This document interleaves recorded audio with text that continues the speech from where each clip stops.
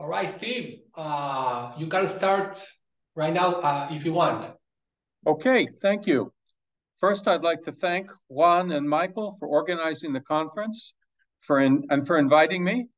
I'm very grateful, and I'm really I really regret that I can't be there. It would have been a pleasure to actually interact with people uh, non-virtually. Um, okay, the point of this paper is to show that cult in the desert evolves and it, it has to be commensurate with the actual societies of the desert. We tend to flatten pastoral nomads. We tend to see the transition from hunting gathering to pastoral nomadism in the desert as a one step process. We hit pastoral nomadism and everything is flat. So, this paper will first describe the major changes that occur over the course of millennia in the societies, in the mobile pastoral societies of the desert. And then I will try to show how the cult systems evolve as well. Okay, and now I have to move my cursor so that we can actually see. There we go. Okay, so the first thing I want to note along these lines is that there's the desert systems operate independently and autonomously from the sedentary systems. We have major differences in everything. And on the in the red, you see the sequence uh, in the settled zone, and on the left, you see the uh, sequence in the desert. You also see the changing forms of, of economy and the changing forms of, or the changing animals in the desert. There's nothing static about desert societies. We tend to flatten them, we tend to see them as Bedouin. They're not Bedouin. Bedouin are a modern adaptation. This is just a quick review of the changes in animal exploitation. We have a sequence of animals that are adopted into the desert. Not only are they cumulative, but the way they're exploited changes. We have technological changes. I recognize now um, that uh, the uh, North Arabian saddle is not perhaps the revolution that people once claimed, but there's a North Arabian saddle. This is probably a Nabatean painted cave. It still was an innovation. And of course, desert kites were an innovation with all sorts of implications in terms of community organization. Um, we also see arrowhead sequences that change significantly. The technologies change. And they probably reflect both changes in the animals themselves, the animals hunted, changes in the technologies, and changes in the forms of production, the organization of production. So again, over the course of the thousands of years of pastoral nomadism in the desert, mobile pastoralism in the desert, we have constant evolving technologies, constant evolving um, uh, cultures. We also have demographic changes and territorial changes. Here you see, this is, this is taken from the Negev Emergency Survey. We have um, fluctuating numbers of sites, which undoubtedly represent changes in demographic patterns in this, these are all from the central Negev and from the northern Negev. And on the bottom right, you see general population increase in the early Bronze Age uh, in the late Timnian culture, probably the result of connections with the north as a result of urbanism. But the real point again is that we have a very, very dynamic system. That dynamic system can also be translated to changing territoriality, to shifting edges of pastoral zones, buffer zones, and uh, agricultural zones. We can actually translate this to maps. On the left, you see a early, an early Bronze Age, late Timnian map of settlement systems where the edge of pastoral systems gets to. And you can see that on the right, during the Byzantine period, agriculture extends very deep into the desert. Again, the whole idea is that we have a very, very dynamic system. There's nothing flat. There are constant changes. We also have very significant changes in seasonality patterns amongst the pastoralists in the desert. We tend, when we look at these, we tend to adopt rather simple systems based on ethnography and on ecology. That's actually inappropriate. From period to period, we have significant changes in patterns of seasonality, which are dictated by economics, by changing requirements of the animals, by changing territorialities of the people, and also, I think, by changing cult systems. So from period to period, we also have major changes in seasonality. This all goes basically to say that pastoral systems in the desert are dynamic. They evolve. I think that in general, they evolve to greater complexity, although that's although that is not linear. And as a corollary, the cult systems in the desert have to match the actual cultural systems. We tend to look at cult systems independently of the rest of the culture. We tend to look at them independently of demography and independently of economics, etc. We need to integrate. Let me just um, catch up with where we. Uh... Okay, this is just a slide of some of the different kinds of cult manifestations, and I'm focusing on the Negev. Okay, um, and what you see are standing stones of different kinds. You see it. You see mosques. You see desert lines, shrines. You see um, tumulized tumulus systems. You see rock art. You see geoglyphs. We have a large range of different kinds of cult manifestations. The archaeology of cult in the desert is complex. I want to um, here make one thing very clear. All cult is complex. All cultures have complex cosmologies. All we need to do to understand this is to look at the Australian Aborigine dreamtime systems to understand the symbolic complexity of all cult. But that doesn't mean that all cult is the same we see manifestations of things like centralization, political hierarchy, demography, uh, ter and territoriality, and the need to demonstrate or claim territories. These things change with the structures of society. So when I talk about complexity, I'm not talking about complexity of beliefs. I'm talking about the manifestations of cult in the desert and how they reflect changes in these societies. Uzi Avner has suggested that there is a, a culture called the Rodedian, a PPNB culture, especially characterized by the presence of standing stone systems, orthostats, various kinds of orthostats. Uh, without going into a critique here and accepting at face value that um, there are orthostats associated with the PPNB. And again, we're talking about, we're not talking about Bill's PPNB here. We're talking about the PPNB of hunter-gatherers in the deeper desert. We need to understand that it takes a couple of hours to build one of these things.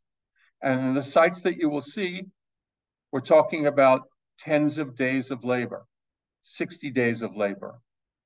Um, these are fundamentally domestic cult sites. Okay, there's a fundamental difference between what's happening in the PPNB and even in the PPNC and what happens later. Sometime in the mid 6th millennium BC, we begin to get centralized cult systems. The earliest one, it's not it's not the only one in the state, but the most impressive is the one at the at Uvda Valley 6. You see pictures on the upper right and lower right, uh, actually all around, except for the one in the middle from Ein Yarka, uh, relate to that Uvda Valley 6. Um, it reflects some kind of centralized cult. It reflects symbolism. It reflects some kind of orientation, cosmological orientation. Um, we also have geoglyphs. The geoglyphs are difficult to date. We have them in sites which seem to date to different periods, but we'll leave that aside for the time being. Uh, the Ein Yarka site, which Rothenberg did not publish properly, was not PPNB and also seems to relate to the same, uh, same phenomena. Note that both at Ein Yarka and at Uvda 6, we have standing stones uh, in the middle of some kind of installation in these features. This may reflect some kind of continuity, some kind of symbolic continuity with the preceding period. We also have similar, we have things going on in Jordan as well. Fujii has documented a series of uh, really interesting, undoubtedly cult sites in uh, southern Jordan. He's suggested in the rectangular aspects that we're talking about connections to the PPNB proper in the settled zone. I can't comment on that. These are fundamentally different sites than what we see in the Negev. Uh, they're roughly dated the same time. They may even be a little bit earlier. By the late sixth millennium, we begin to get massive centralized sites in the Negev and in Sinai. This is the one I excavated at Ramat Saharonim. Uh, you see complex solstice orientations, massive stones, uh, the lower left is an unexcavated shrine, and the lower right is a different shrine from the same site, excavated, where we can estimate the mass of the shrine at over 30 tons. That translates to about uh, 60 days of work in terms of construction, very roughly. Hold on.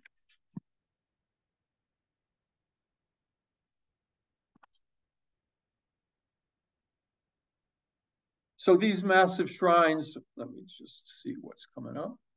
Okay, so here's a here's a reconstruction.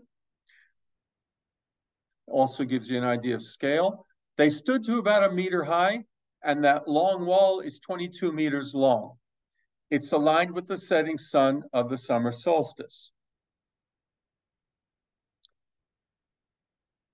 I've suggested elsewhere that these sites reflect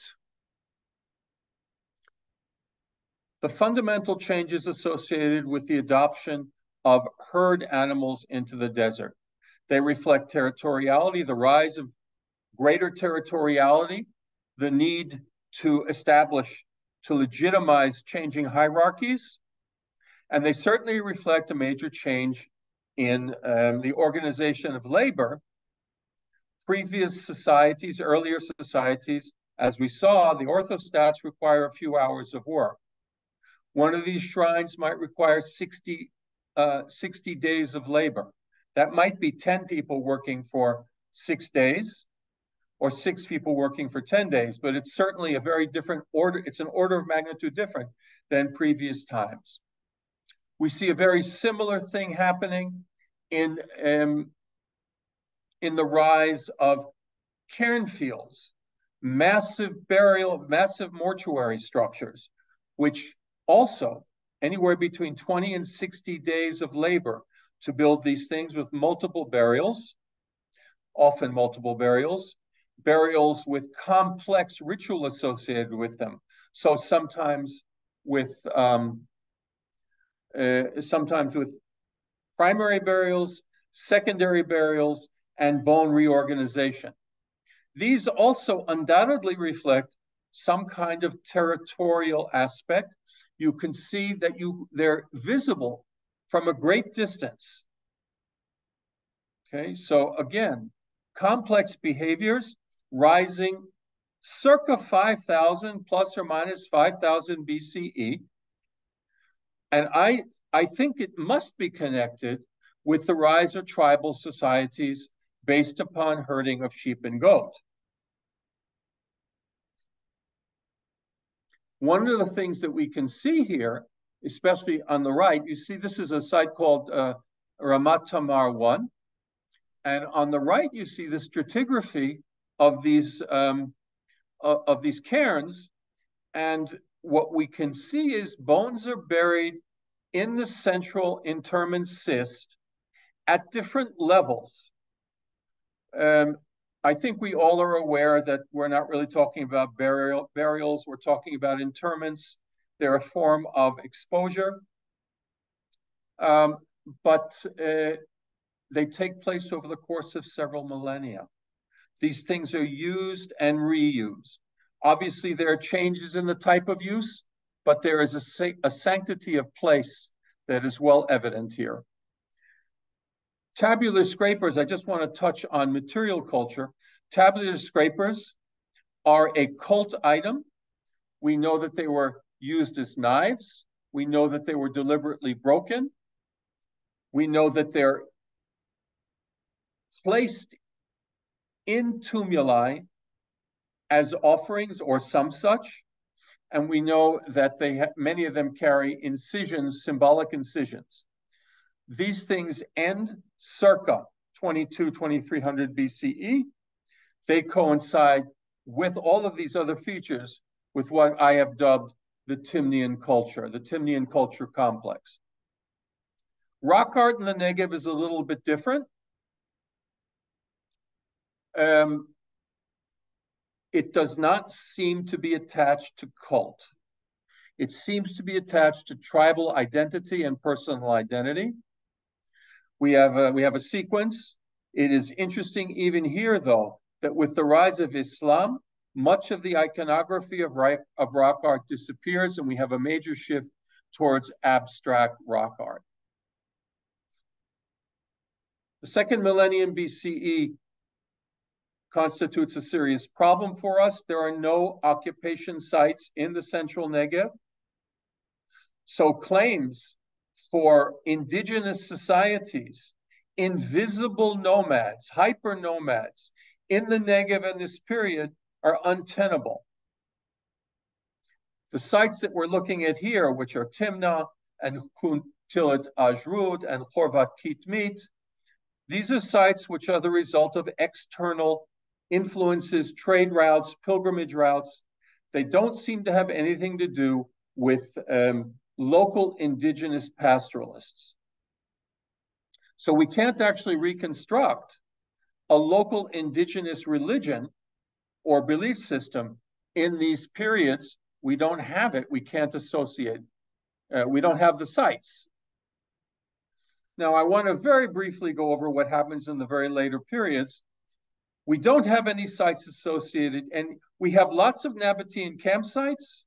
And aside from Uzi's work showing the existence of orthostats along trade routes, probably attached to Nabateans, we don't have any Nabatean shrines which we can attach to Nabatean pastoral systems, even though we have lots of Nabatean campsites. We do have the rise of Christianity in the rock art, but it's only found along pilgrimage routes. And of course, in the major settled systems. We have the rise of Islam, and Gideon Avni has noted that uh, we can trace in these open air mosques, which we find in direct association with campsites, with the entire system of campsites in the desert, we can trace the adoption of Islam and its adaptation to pastoral systems in the desert. And Gideon, and I think rightly, has suggested that in these architectures, we can see continuities with earlier uh, uh, earlier cult systems. In the one in the upper right, uh, upper left, we can see um, a standing stone in place of a mihrab, for example. It's always good to end with Shelley. I want to reiterate something again. We need to integrate our studies of cult with the general history of pastoral systems of mobile peoples in the desert. We cannot make assumptions, for example, about monotheism arising in the desert amongst people who were hierarchical and not hierarchical. We need to we need to match our religious reconstructions, our cult reconstructions, to the basic social, sociology of desert peoples. I thank you kindly.